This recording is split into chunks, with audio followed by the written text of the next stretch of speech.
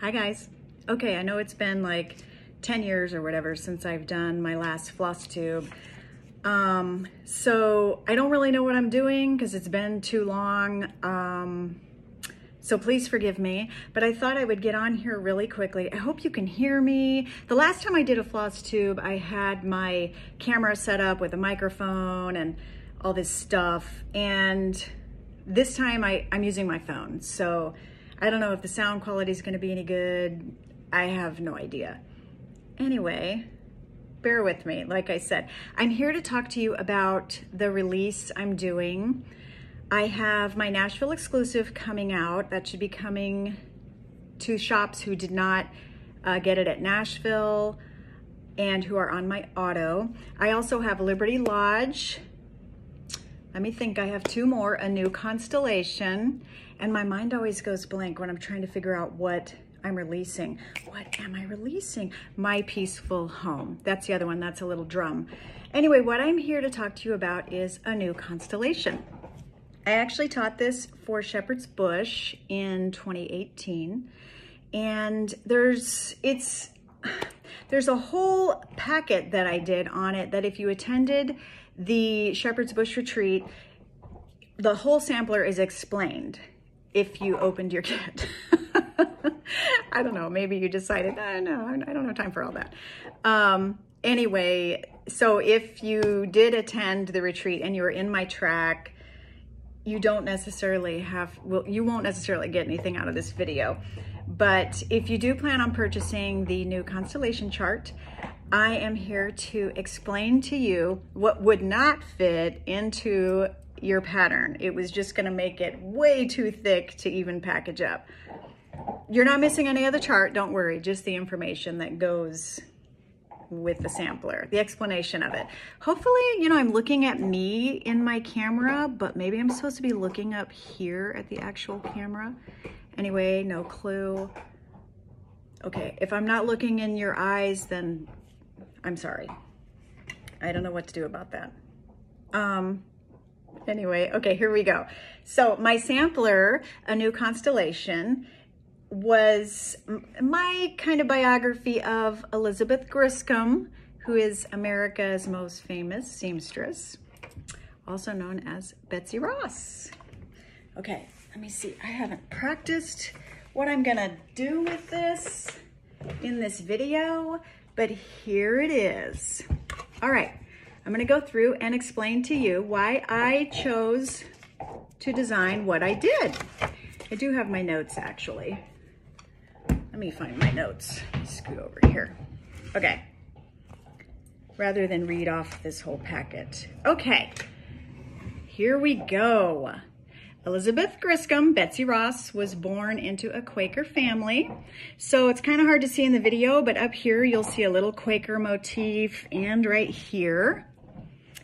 Um, she became an upholsterer after she completed her school.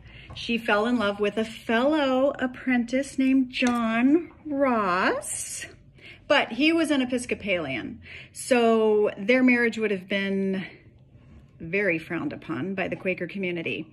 She knew this, so they actually ferried across the Delaware River in 1783 to Hogg's Tavern and they eloped. This is them getting married. Then every Sunday they attended Christ Church. They sat on the 12th pew, supposedly. And sometimes George Washington even attended church. Anyway, because she married John, she was read out of the Quaker community, which means her entire history was dissolved. And I imagine that was incredibly upsetting to her family. Okay, so there is the first rectangle explained. Second rectangle right here. John joined the Philadelphia, I'm sorry, the Pennsylvania militia, and he was mortally wounded in an explosion in an ammunition cache.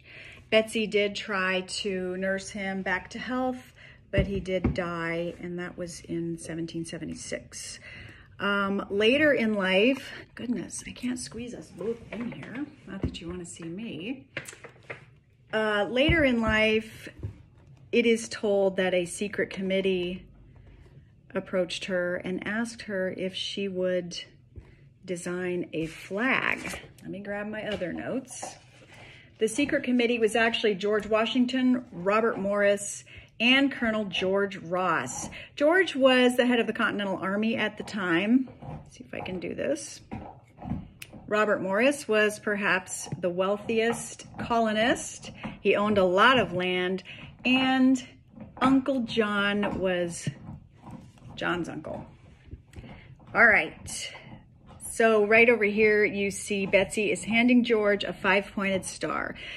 Um, legend has it that they had um, drafted a flag for her to do, and they wanted to use six-pointed stars, but she told them that five-pointed stars would actually be much easier to cut. Okay, let's see here. Oh yeah, we can't forget this part. During the war, Betsy was forced to share her home with British soldiers, um, but she did continue in the war effort by sewing cloth gunpowder pouches for the colonists. Okay, I need to just try to look at my sampler and remember what what I did instead of reading my notes because I keep losing my place in my notes. So, all right, in 1777, she married a sea captain named Joseph Ashburn. This block here shows his ship being chased by a British ship. And um, they did catch him and they put him in Old Mill Prison in England where he died.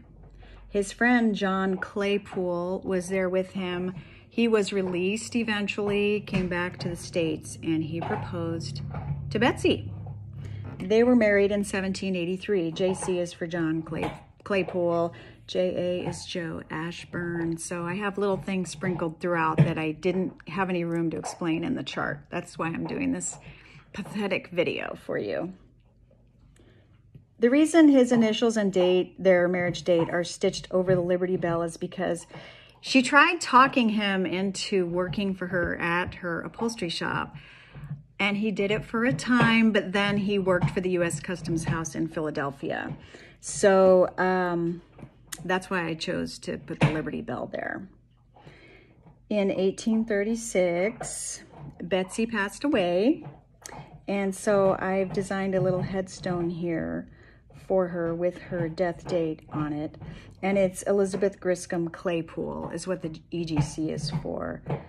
Um, I've also included a few more Quaker motifs in this because later on in her life, she was actually reconnected with the free Quakers who actually supported the war effort.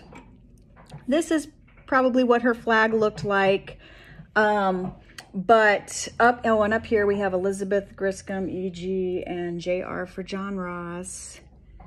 As you know, maybe by now, this, gosh, I'm not even pointing it here. Here we go. Okay, sorry. I hope I hope I was even showing you some of that. E.g. JR. Um, and then up here is Congress, the Continental Congresses, oh boy, pet hair. Uh, their resolution for when they actually approved her flag. And it was uh, approved June 14th, Flag Day. Also my mother's birthday. Happy birthday, Mom, early. And um, what they declared was here that the flag of the United States be 13 stripes, altern alternated. What? Alternated. Oh, sorry. Alternate. I was like, what did I design? And I'm just now catching it. Alternate red and white, that the union be 13 stars, white in a blue field representing a new constellation. And there you have it. I'm probably going to die a thousand deaths when I watch this video back and I'm now going on almost 10 minutes so I'm going to cut it off there. I hope um, you're not laughing hysterically at me, but if you are, that's okay. I deserve it. Thank you guys. And hopefully I will see you sooner than 2030. Bye.